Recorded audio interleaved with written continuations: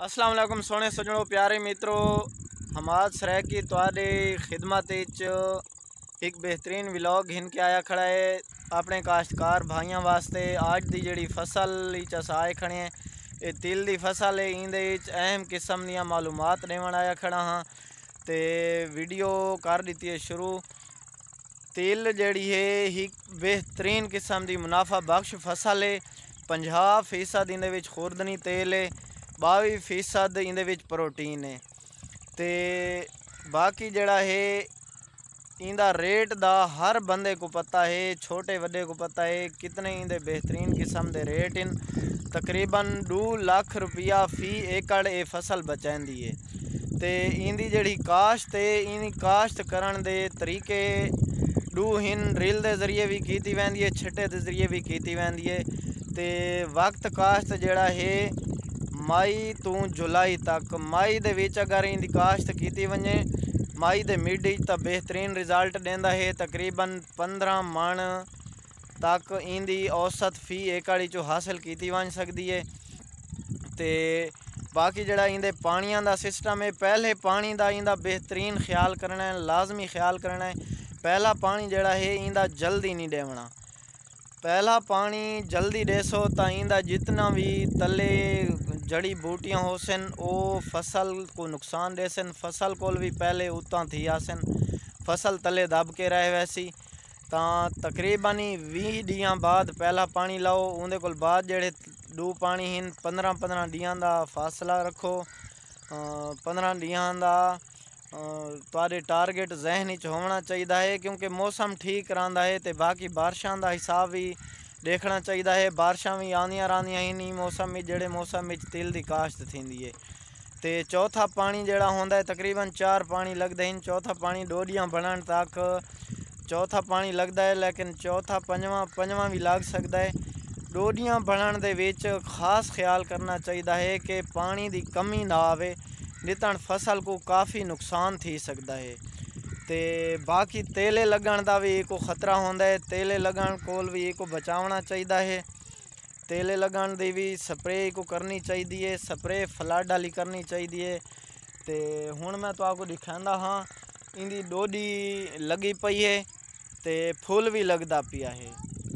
ਅਕਸਰ ਮੇਰੇ ਭਾਈ ਆਖਦੇ ਹਨ ਕਿ ਇਹ ਜਿਹੜੀ ਤਿੱਲੀ ਹੈ, ਅਸਾਂ ਤਿੱਲੀ ਦੇ ਵਿੱਚ ਹੀ ਖੜੇ ਆ ਤੁਸੀਂ ਦੇਖਦੇ ਪਏ ਹੋ ਸੋ ਕਿ ਇਹ ਸਿਰਫ ਹਿੱਕਾ ਟਹਿਨੀ ਘਿਨ ਕੇ ਉਤਾਂ ਥੀ ਆਂਦੀ ਏ। ਤੇ ਹਿੱਕ ਟਹਿਨੀ ਦੇ ਉੱਤੇ ਵੀ ਇਹਦੇ ਇਹ ਡੋਡੀਆਂ ਲੱਗਦੀਆਂ ਹਨ। ਲੇਕਿਨ ਇਹ ਤੁਸੀਂ ਦੇਖਦੇ ਪਏ ਸੋ ਇਹ ਹਿੱਕ ਬੂਟਾ ਹੈ। ਇਨੀਆਂ ਚਾਰ ਟਹਿਨੀਆਂ ਹਨ ਤੇ ਚਾਰਾਂ ਟਹਿਨੀਆਂ ਦੇ ਉੱਤੇ ਹੀ ਇਕੋ ਫਲ ਲਗਾ ਖੜੋਤਾ ਹੈ। ਇਹ ਸਖਤ ਜਾਨ ਫਸਲ ਹੈ। ये हूँ भी मौसम, हर बंदे को पता है, तकरीबन पूरे मुल्क मौसम ख़राब रहे हैं बारिशा भी आंदियाँ रही आंधियाँ भी आंदियाँ रही हैं तेज़ बारिश आंदियाँ रही लेकिन इंदा फुल घाट को घाट ढांदा है। तो बाकी जड़ा इंदा बेहतरीन किस्म का रिज़ल्ट हासिल करना चाहता है जड़ा बंदा भी वो सैडा नाल जंतर ਵਹਾ ਦੇਵੇ ਜੰਤਰ ਦੀ ਕਾਸ਼ਤ ਕਰੇ ਤਾਂ ਕਿ ਜਿਹੜੀਆਂ ਅੰਧਾਰੀਆਂ ਕਿਸਮ ਦੀਆਂ ਕੋਈ ਵੀ ਮੌਸਮ ਖਰਾਬ ਥੀਂਦੇ ਹਨ ਉਹ ਤਿਲ ਦੀ ਫਸਲ ਕੋ ਅਸਰ ਘਾਟ ਕੋਲ ਘਾਟ ਥੀਵੇ ਬੀਜ ਬਿਹਤਰੀਨ ਰਾਵੇ ਹੁੰਦਾ ਤੇ ਫੁੱਲ ਨ ਢਾਵੇ ਫੁੱਲ ਅਗਰ ਜੰਤਰ ਲੱਗਾ ਹੋਇਆ ਹੈ ਤਾਂ ਫੁੱਲ ਘਾਟ ਕੋਲ ਘਾਟ ਢਾਸੀ ਤੇ ਇਹ ਤੁਸੀਂ ਦੇਖਦੇ ਪਏ ਹੋ ਸੋ ਬਿਹਤਰੀਨ ਕਿਸਮ ਦਾ ਇੱਕ ਡੋਡੀ ਲੱਗੀ ਖੜੀ ਹੈ ਬਾਕੀ ਜ਼ਮੀਨ ਦਾ ਜਿਹੜਾ ਹੈ ਤਿਲ ਦੀ ਫਸਲ ਕਾਸ਼ਤ ਕਰਨ ਵਾਸਤੇ ਜ਼ਮੀਨ ਕੇ ਜੀ ਚਾਹੀਦੀ ਹੈ ਬਣੀ ਹੋਈ ਕਿਵੇਂ ਹੋਣੀ ਚਾਹੀਦੀ ਹੈ ਜ਼ਮੀਨ ਦਰਮਿਆਨ ਹਿਸਾਬ ਦੀ ਹੋਣੀ ਚਾਹੀਦੀ ਹੈ ਕਾਸ਼ਤਕਾਰ ਭਾਈ ਜ਼ਮੀਨ ਦਾ ਇੰਤਖਾਬ ਕਰਨ ਵੇਲੇ ਵੀ ਕੁਝ ਗਲਤੀਆਂ ਕਰ ਵੈਂਦੇ ਹਨ। ਇਹਦੇ ਵਿੱਚ ਸੇਮ ਤੇ ਥੋਰ ਵਾਲੀ ਜ਼ਮੀਨ ਇਸਤੇਮਾਲ ਨਹੀਂ ਥੀਂਦੀ। ते बाकी जड़ा बिल्कुल रेतली ज़मीन है उनका भी इस्तेमाल न करो। उन्दे ते तिल की काश्त न करो। बाकी दरमियानी रेत वाली अगर है जड़ी ज़मीन के जरखेजी है उनके तिल की फ़सल बेहतरीन थी ये तुसा देखते दे पाओ सो ये हल्की रेतली ज़मीन है। इन जरखेजी भी पूरी है। ਤੇ ਰੇਤ ਵੀ ਹੈ